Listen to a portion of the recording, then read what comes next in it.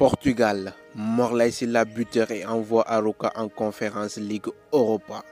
Aruka FC s'est imposé ce samedi 20 mai 2023 face à Chavel, un but à zéro en championnat. Dans le cadre de la 33e journée de la Ligue 1 portugaise, l'unique réalisation de la partie est l'œuvre de Morlaï sur penalty. Cette réalisation de l'international guinéen offre trois nouveaux points à son club.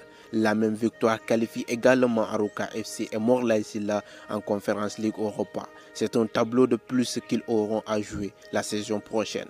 En 32 matchs disputés en championnat avec Aruka FC cette saison, Morlaï Silla totalise désormais 4 buts et 4 passes décisives. Bonne chance champion